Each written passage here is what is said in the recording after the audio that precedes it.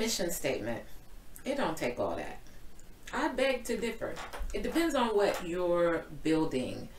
So I want to talk about a mission statement today. You know, these are the intricate details to really building a really aligned and amazing brand. And it's also some of the stuff that people skip. They don't think it's necessary. And it's not, not for every business. Every business doesn't have to have a mission statement, but those businesses that are really wanting to build legacy and be in alignment and really operate in their 3D essence and bring harmony to what they're building, a mission statement is important.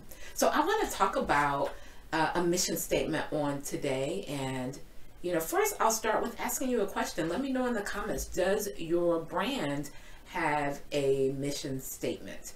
I want to begin defining more definitively some of the things that I do in the work that I do with clients and maybe some of the videos that you've heard me share and talk about just to kind of simplify some things a little bit and uh, bring you a new level of understanding as you're building your business and your brand. So for simple terms, your mission statement is your big why. Like, why are you doing what you're doing? What What is all of this that you are building all about? Is your big, compelling why, right? So I want to talk about some things that having a mission for your company does. Number one, it dictates what you do daily. If you have a mission, it dictates the type of activity that you do each and every day throughout your business and your brand. Number two, it defines who needs to be on your team. What does your team look like? Your mission statement will define those things. It will help to make all of those things, you know, easier. Uh, number three, it defines who you are as a brand. So if you can like nail that mission statement, and look, it's not something that you normally perfect the first time. Many people, I've seen mission statements that are really, really long. Your mission statement is about two sentences, actually. It takes some time to really perfect it. It may change a little as you get more clear and understand more about what it is that you're really doing, what it is that you're really building. Your mission statement is a solid decision making tool. So once you have gotten clear on what your mission is for your brand, it helps you to make decisions. What type of events would you go to? What type of investing do you need for what it is that you're doing? What type of classes and courses will you take? What type of money are you going to spend? What type of photo shoot you going to do, right? So the mission statement is like some of that core central stuff that's wrapped in what I call your brand's DNA. Your mission statement also tells what marketing strategies you use. It's so powerful. And so, yeah, some people feel that it doesn't take all that, but I, I beg to differ. I believe it depends on what you're building. Now, as a part of helping my clients to really work through and walk through the framework of creating the mission for their company, I go through examples of major brands that would be recognizable to them in the practice that we do. So today I want to share with you one that I think mostly anybody who comes on and views this video can understand and really see how this thing works. So we're going to use Chick-fil-A. Not everybody eats from Chick-fil-A, but a lot of people do.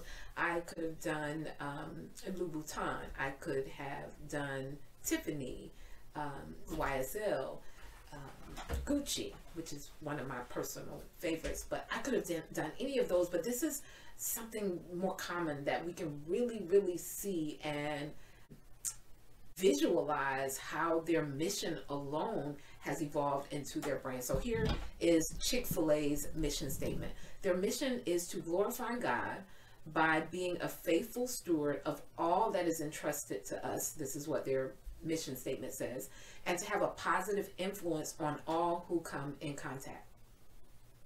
Sounds really simple, but when you look at who they are as a brand, they're closed on Sundays. Everyone knows that they close on Sundays for that particular reason. It's just their form of respect for their belief and their faith.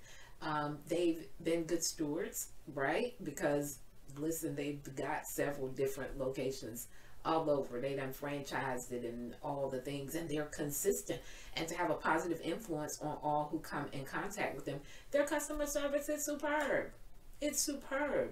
And so we can see by just Chick fil A's mission statement how it has been a decision making tool for them, how it has defined their marketing, how they decide who they're going to hire, all the practices, the things that they learn, the things that they go deeper on. I'm sure that behind the scenes of the Chick fil A brand is continuous and constant support for their staff and learning more about leadership and training and you know what customers need and deserve and desire and how it will align with what they are wanting to do. It helps to dictate where they spend their money and their resources and what are the most important problems and solutions that they solve as a brand. Now we know they sell chicken right? They sell chicken but the chicken is the product but it's not necessarily the brand.